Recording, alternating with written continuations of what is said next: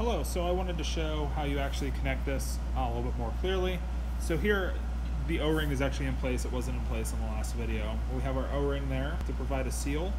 And we put our orifice on top. We mentioned making like a marking just with a marker on your on your cell, like put like two dots in a particular way and just record what that is, just so you can know that you're using the same orifice each time. Otherwise, you'll have to take and record the dimensions of that cell each time. And then we're gonna try to delicately place that clip on top. Then we put our O-ring clip in place. And then this should be able to go right on top. And then we should be able to look inside and mostly see that everything is aligned. And then we just take one of our clips and assemble. So put it here. So the way this works, we clip, attach, and then this takes a little bit of effort to contract the spring. So we get that in place there. And so now at this at this point, you can see inside. You can uh, where's the camera? Okay, you can see inside that our orifice is in place, and everything is clamped down.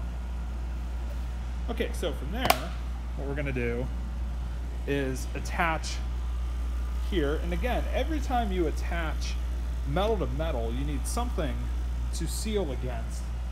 So you need to add one of these rubber clips. Very important that you use one of these ring clips. Um, you know, so if you're finding that things aren't clamping well or that they seem loose, it's probably because you don't have that rubber O-ring clip in place. Okay, so I'm gonna go ahead, pause, get that connected. Okay, so here's our sublimation cell now in place. And you can see we have used one of our clips, clamped down on that. Um, and we haven't yet played with any of the valves yet. So if you notice the pressure here is reading you know, 866 torr. These aren't really calibrated to read atmospheric pressure, but this is just at atmospheric pressure because we haven't played with any of the valves yet. Now in your handout, I think I went through um, a valve procedure. I can't remember if I went through a precise valve procedure, but it's relatively complicated, but each of the valves here serves a particular purpose. There's actually four valves, so we see one here, one here, one here, and one back here. And so if we notice that this valve here, what this valve is, is between our diffusion pump and its exhaust pump. This valve here is actually between the exhaust line of this pump and between the, um, or excuse me, it's between the sublimation region. If I open this valve here, this goes to the tube that leads to our sublimation region. And then the other side of that valve is this pump. It's the mechanical pump. So if I open this valve right now, the mechanical pump is going to pump on the sublimation region. Ideally, I'm going to open this final valve here, which is currently closed. I'm going to open this valve at some point so that I can introduce the sublimation pump to pump in that region to flow our gases through our cold trap onto our sublimation pump. So now the only issue here is that this oil here is pretty reactive to air, primarily oxygen in there. So what I'm to do is I'm going to close the exhaust valve. It was open. I'm to close it. And then what I'm going to do is I'm going to open this valve here, and I'll explain why I'm doing this. I'm opening this valve here to do a pre-vacuum. So I'm pre-vacuuming the region here. I stop pumping on my diffusion pump momentarily so that that we don't hurt this pump, that we don't introduce that high pressure of the sublimation region as we pump it out through the mechanical pump. So now once it gets below about 100 millitorr, and it's at 83, 80, less than 80 millitorr right now, then I can redo the, the valves. I close the valve that I had just opened, reopen my exhaust valve.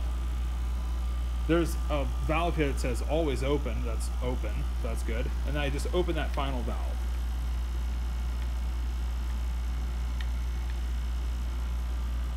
So now if things go well, I'm gonna get a lower pressure here than I do here. I'm gonna get a little bit of a lower pressure with my uh, sublimation pump.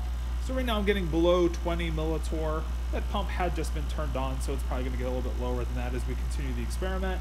And then I'm at about 50, just below 60 millitorr uh, with the mechanical pump uh, on the exhaust line of our pump. Okay, and so Um, I didn't mention when we should hit a, a, a thermometer, when we should hit start. Maybe I'll mention that in the second video. But in the second video, I'll go through how when we start to see that pressure hit about 100 millitorr, we hit go on our temperature probe. But we'll get that set up in the second video. So uh, valve procedure, you may want to like jot down the notes that what we did was uh, this valve is numbered one. So we closed one, this valve's two, and opened two then closed two, opened one, and then we finally open three. This valve is always open. This valve is helpful later in the experiment, like once you leave usually, when I close this valve as a means of taking this trap off while this pump's still hot. So this valve is kind of a helpful valve for me later on when I'm trying to clean out the trap. So then once your material is being sublimed, it's gonna uh, deposit on the, on the cold trap here to prevent that material from getting into the pumping system and being harmful to the pumps. So that's the basic valve operation for the experiment. I'll probably go through that one more time, but I'll mention the uh, temperature and data collection in the uh, next video.